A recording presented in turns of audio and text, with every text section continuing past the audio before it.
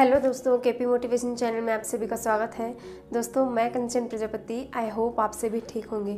दोस्तों डेडिकेशन क्या होता है डेडिकेशन कैसे हमें कामयाब बनाता है डेडिकेशन किसी भी फ़ील्ड में, इस वीडियो को पूरा देखिएगा। ये वीडियो इस चीज़ का जवाब है। दोस्तों, डेडिकेशन ही होता है जो हमें सफल बनाता है, जो हमें कामयाब बनाता है। दोस्तों, हमें हमारी मंजिल तो पता होती है, हमें हमारा स्टार्टअप पॉइंट भी पता होता है और हम जहाँ खड़े होते हैं, वहाँ से चलना भी शुरू कर देते हैं। लेकिन अब शुरू होती है हमारी असली लड़ाई। जो हमारा दो से तीन साल का वेटिंग पीरियड होता है, वो सरवाइव करना बहुत ही मुश्किल होता है।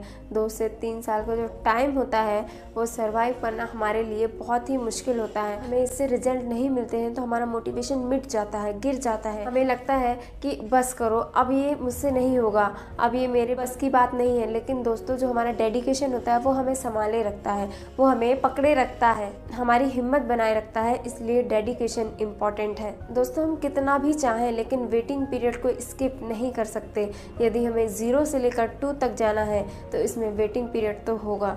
दोस्तों, हम सब सपने तो देखते हैं, लेकिन जब बात आती है उसे सच्चाई में उतारने की तो वो बहुत सारे डेडिकेशन एफर्ट्स और डिसिप्लिन की मांग करता है। दोस्तों, जीवन में डेडिकेशन समर्पण बहुत ही इम्पोर्टेंट है, जो हमें पकड़े रखता है, जो हमारा दो से तीन साल का वेटिंग पीरियड होता है। हमें कामयाब होने के लिए जो दो से तीन साल का समय लगता है, उसमें हमारा डेडिकेशन ही है, जो हमारी बहुत मदद करता है, हमें संभाले रखता है। हमारी ज़िंदगी में सफल होने के लिए डेडिकेशन बहुत ज़्यादा इंपॉर्टेंट है। यदि आप अपनी ज़िंदगी को सफल बनाना चाहते हो, एक बहुत ही अच्छे पोजीशन में देखना चाहते हो, अपनी थिंकिंग को आप बहुत बड़े बड़े लोगों के साथ कंपेयर करते हो, चलो मान लेते हैं कभी सचिन तेंदुलकर तो कभी रतन टाटा बनकर, लेकिन क्या आपने कभी सोचा है कि आप में और उनमें क्या फ़र्क रहता है? दोस्तों, आज जो वो है, सिर्फ़ अपनी थिंकिंग की वजह से नहीं, उससे भी एक बड़ी चीज़ है जो उन्हें सबसे अलग बना देती है, और वो है